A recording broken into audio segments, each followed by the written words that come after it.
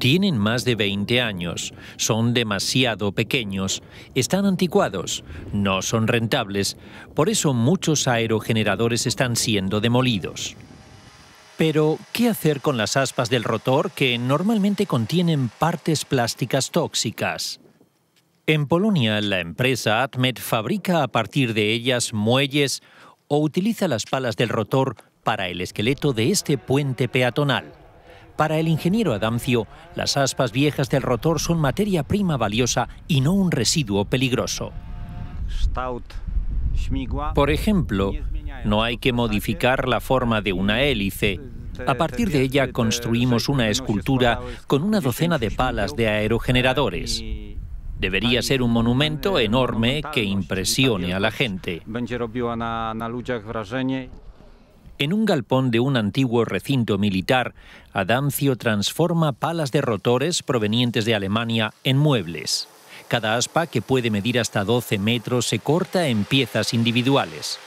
Forjadas y lacadas, se convierten en muebles de jardín, sillas, bancos, mesas y al final un elegante toque de fina madera de alerce. Estudiantes de la Universidad de Cilena Gora son quienes diseñan los muebles. Están felices porque sus ideas son fabricadas y se venden en todo el mundo.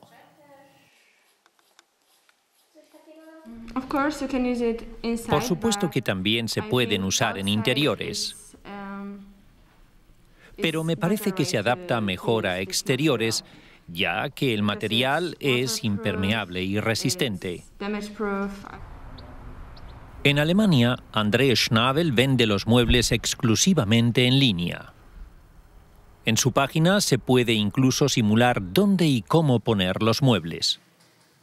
Schnabel tiene una buena relación con los empleados de la empresa polaca. Los muebles cuestan unos 3.000 euros cada uno. Queremos ser una marca pequeña y exclusiva que por un lado llame la atención sobre una problemática y por el otro que muestre que con las cosas viejas y usadas se pueden construir muebles únicos y maravillosos. Sus amigos polacos lo sorprenden siempre con nuevas ideas. Por ejemplo, con esta bodega de vinos a partir de un molino de viento.